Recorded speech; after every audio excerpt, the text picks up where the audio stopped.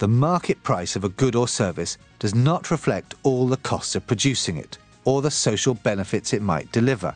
Externalities occur when the economic behaviour of certain individuals or companies imposes a cost or a benefit on second or third parties who had no say at all in the original behaviour. A positive externality occurs when a benefit from certain production is enjoyed by a second or third party. And a negative externality is a cost suffered by people who are not part of the transaction. Pollution is probably the most obvious modern example of a negative externality. Industrial activity and waste products in all their many forms compromise the environments and lives of people all over the world. But the negative effects are usually felt most acutely by the poorest communities who cannot move to greener pastures. Communities that are often not involved in the actual consumption of those goods that produce the pollution.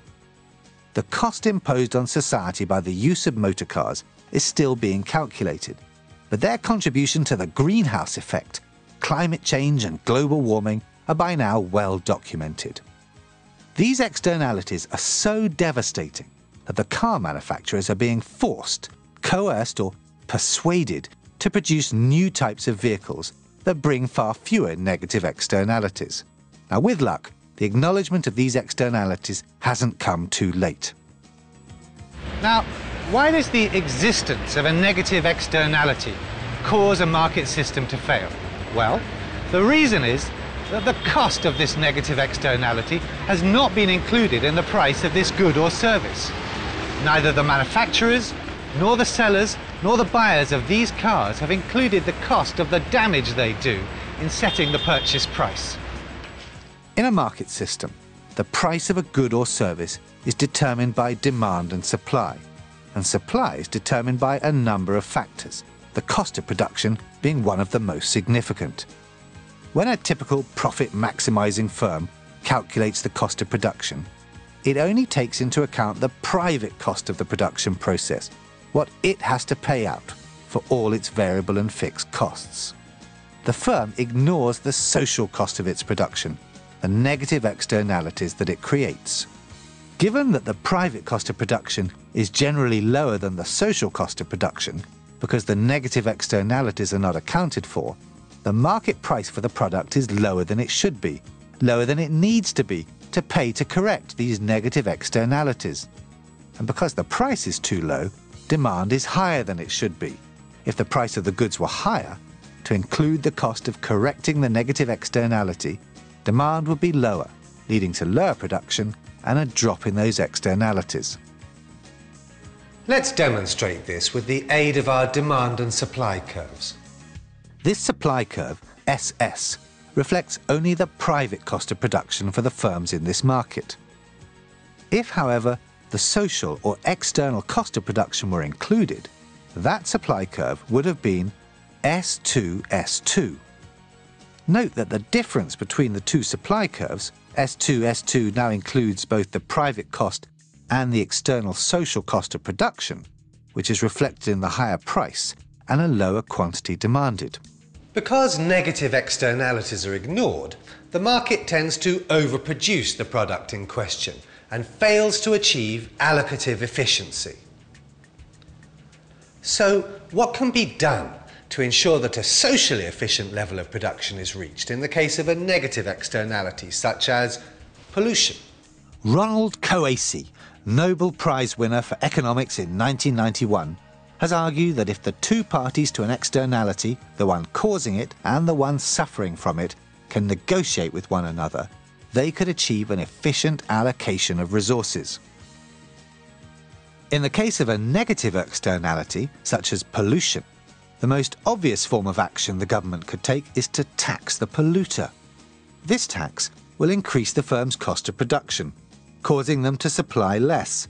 The supply curve shifts to the left resulting in a higher price and reduced quantity in the market. We propose taking further steps to encourage energy efficiency and reduce harmful emissions, some of which have tax implications.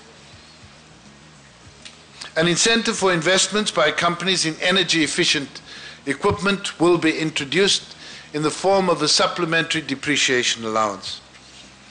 The levy on plastic shopping bags will be increased from 3 cents to 4 cents. An increase is proposed in the international air passenger departure tax, which was last raised in 2005-6.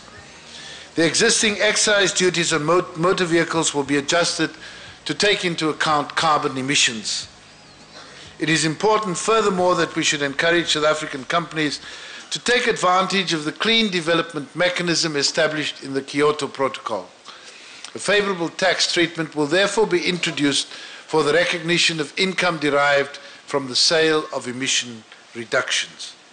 In terms of our diagram, the tax imposed should be equal to the external cost that was not taken into account by the polluter.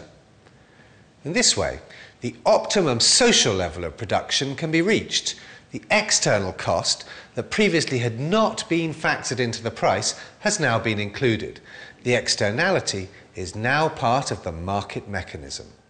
Government has the power, with its regulations and legislation, to force offending producers to reduce the pollution they create. It is thanks to legislation that we now use unleaded petrol. In this case, both the oil refineries and vehicle manufacturers had to adjust their products. It is also thanks to legislation that the use of certain plastic bags is banned and that smoking in many public places is prohibited. So tax is one way to balance out negative externalities. But there are other methods too. Government can grant permits to firms, allowing them to continue producing negative externalities. These permits are sold to polluters, giving them the right to pollute. This is quite a recent development. The government tries to determine the amount of pollution that it regards as acceptable, and it then sells the rights to pollute that much, but no more, to the highest bidders among all the suppliers. This might sound like a strange idea, favouring big business and creating opportunity for corruption, but if done transparently, using the fees collected from the sale of the permits for proper rehabilitation of the environment, it can, in theory, achieve a very constructive result.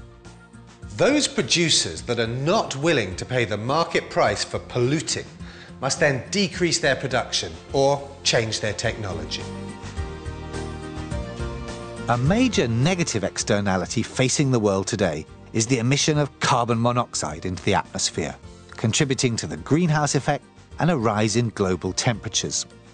Dealing with this issue on a global scale requires the cooperation of many governments and the means to enforce regulations on different countries. The Kyoto Protocol of 1997 is such an attempt. The global acceptable level of emissions is calculated and countries are sold permits that allow them to pollute. Those countries that are able to keep their emissions below the level allowed by the permit can sell their surplus rights to pollute to those countries that are unable to stick to the levels permitted.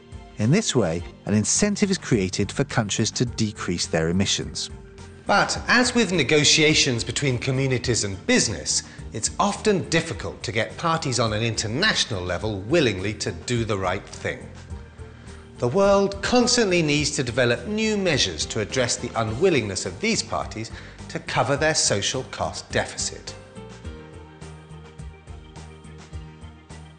Fortunately, an externality can also be positive or beneficial. A positive externality occurs when a benefit is derived by a second or third party from the actions of another party. Inoculation against a disease such as smallpox or treatment for tuberculosis not only helps the individual that receives this benefit, but the surrounding community as well. A beautiful garden in the city provides a benefit to the residents overlooking the park and everyone else who enjoys it on a daily basis. Education not only benefits the individual with better job opportunities and earnings, but also benefits society.